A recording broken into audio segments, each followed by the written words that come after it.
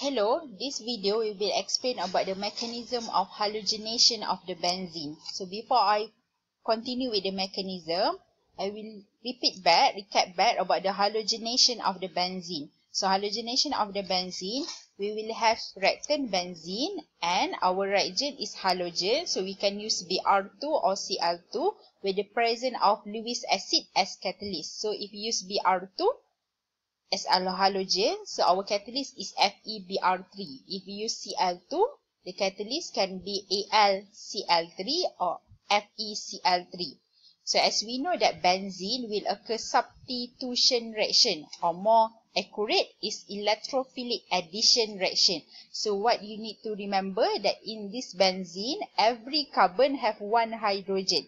So you will substitute one hydrogen from any carbon from the benzene with the halogen. So in this case is Br. So we substitute 1H with the Br. So the side product is HBr. So we will go through with the mechanism. So the mechanism will involve three steps. Step number one is formation of the electrophile. So the electrophile in the form of complex. So as we know that in step number one, the electrophile is Br plus. So because we want to substitute H plus, H plus, we substitute H with the Br. So our electrophile is Br plus. So how to produce a Br plus? We will use this halogen with the Lewis acid. So in step number one, doesn't involve a benzene yet. We only use this one to produce the halogen or our electrophile which is Br plus. Okay, so in step number one, they only involve Br2 and also our Lewis acid FeBr3. So you take your reagent and your catalyst. Okay, your reagent, which is Br2, we show the bond between Br2 with the lone pair.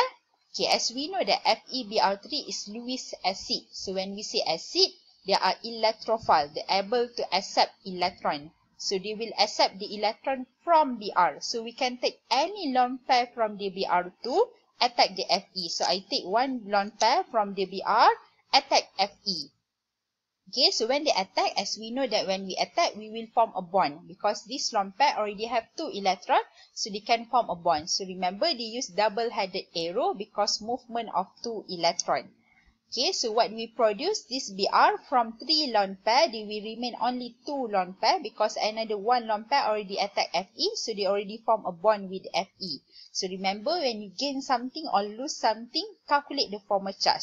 So now I calculate the former charge Br first. We don't need to calculate former charge Br here because it doesn't give uh, doesn't give or gain anything. So this Br, if we calculate former charge, so we, as we know that Br is group 17, so 7 valence electron minus 2 bond minus 4 unpaired electron. 7 minus 2 minus 4 is positive 1. So positive 1. And then Fe, Okay, Fe is quite hard to calculate former charge for transition element like Fe. Okay, it's quite hard to calculate the former charge for transition element for Fe. So it's more easily, you remember for Fe, if they gain something, they will, because they gain electron from BBr, so they will become negative charge. So this one we call complex. As I mentioned before this, firstly, in step number one, because we want to substitute Okay, I repeat back by Z the equation. We will substitute 1H with the Br. So, supposedly, we produce Br plus in step number 1. But Br plus is not stable to be formed. As we know that Br minus is stable to be formed. But Br plus is not stable to be formed. Because they are not stable to be formed, we only stop at this step. They only stop at the complex form. So, we not break this bond to produce Br plus because Br plus is not stable to be formed. So we stop until here, complex. So you will bring this complex in step number 2. So we already produce a electrophile. So we already produce a electrophile which is complex. So will be used in step number 2. So in step number 2 is formation of the arenium ion. So we will use our benzene because we want to substitute 1H with the electrophile. So now step number 2, we copy our benzene and our complex that we produce in step number 1. So as we know that we want to substitute H with the Br. So to substitute H with the Br, we do addition of the Br first. So how to know the addition of the Br? How to do the addition of the Br? Okay, as we know that this benzene is nucleophile.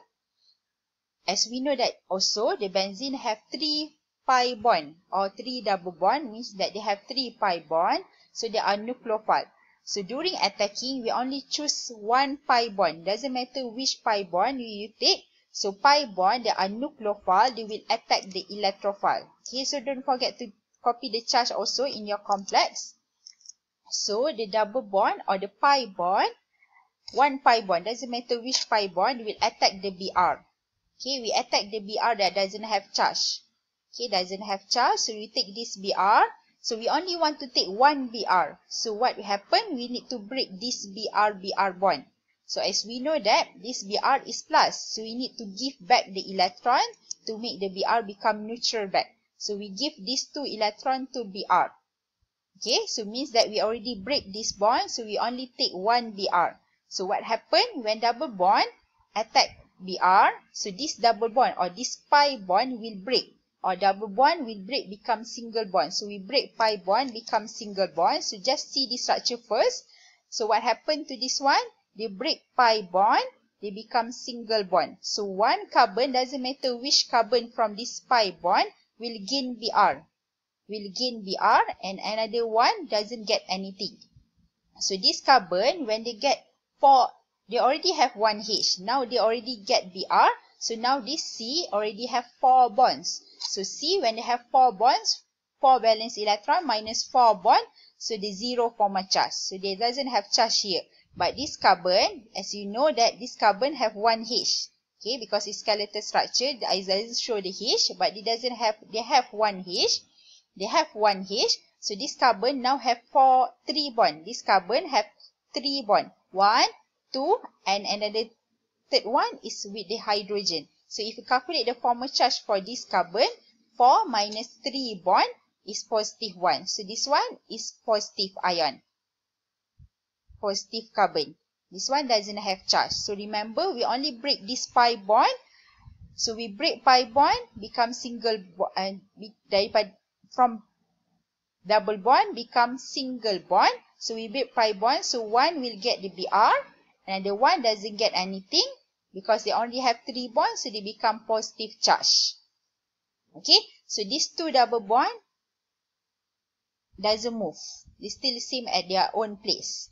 Okay. As we know that benzene are very stable or they have unusual stability or special stability. So what you will do, they will help the plus to gain the stability. What they will do is, we will use the resonance structure. So when you use resonance structure, you must use this arrow.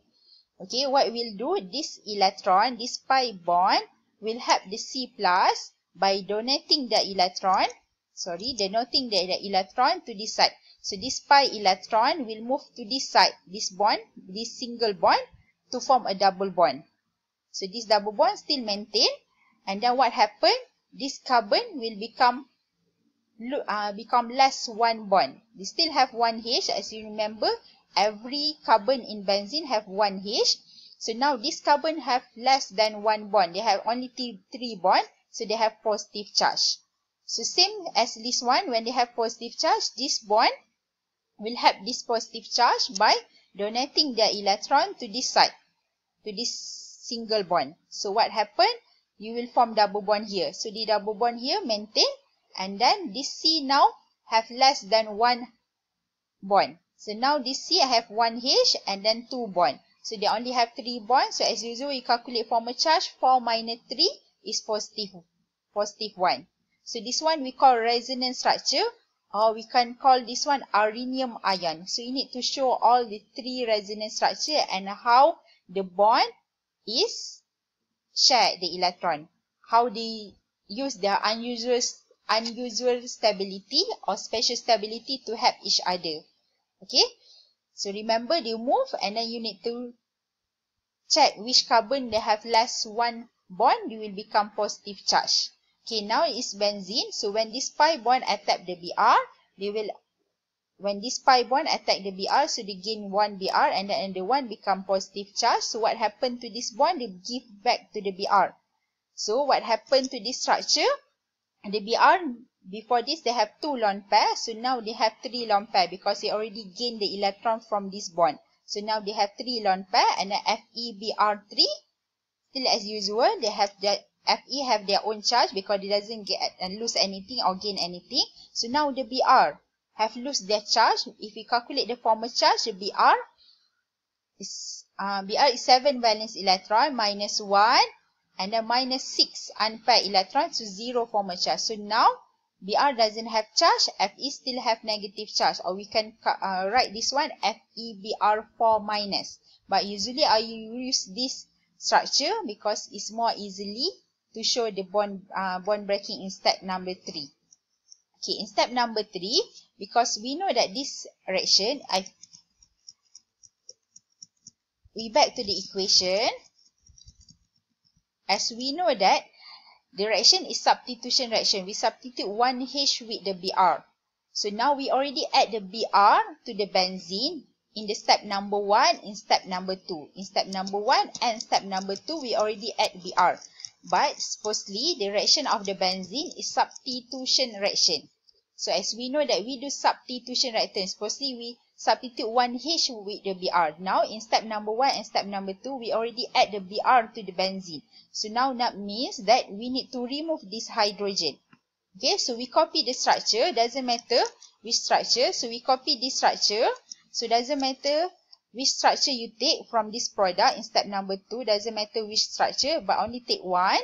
Okay, I take this structure, the first structure. So as we know that we already add Br, and we need to lose the H plus in step number 3. So we need to lose the H plus from the carbon that already have Br. So we not lose the H plus from this carbon, this carbon, or this carbon, or this carbon, or this carbon. We need to lose the H plus from the carbon that have Br because we do substitution reaction. We need to substitute one H from the benzene with the Br. So because we already add Br to this carbon, so we need to lose the H plus from this carbon also. So how to lose the H plus? As we know that FeBr3 is catalyst. So catalyst we need to use at initial and then we need to produce back. Already use FeBr3 and then we produce FeBr3 become FeBr4 minus in this step.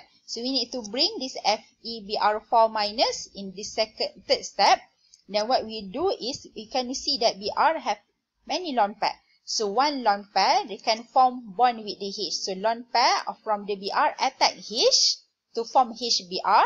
So they only take the H. So what happened to this bond is they will back to form a pi to form a pi bond. So this bond will back to the C C plus bond to form a double bond.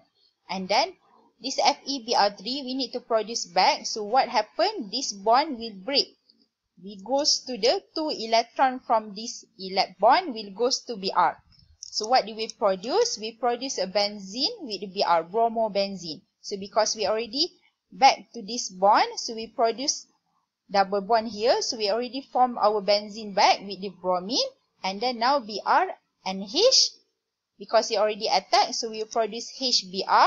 And then this Fe because they already donate the electron to Br, so they already form their FeBr3. Okay, so this one is the mechanism of the halogenation of the benzene, but I use Br. So if you have another example that use Cl2 with the FeCl3 or Cl2 with the AlCl3, the step still the same. So you need to remember in step number 1, we doesn't form electrophile Br plus or Cl plus. We form in a form of complex. So we bring this complex in step number 2. So we can you can use another example for the halogenation of the benzene. You can try by your own. I suggest you when you try, doesn't refer to this video or doesn't refer to notes. Try first by your own and then you can check back on your notes or on the video. Thank you.